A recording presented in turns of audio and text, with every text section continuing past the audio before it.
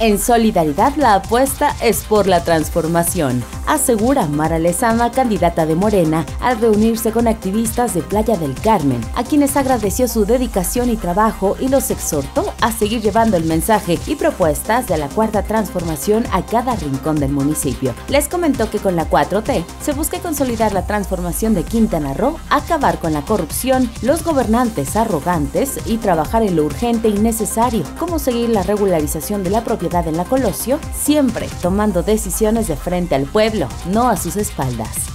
Noticieros Teleurban.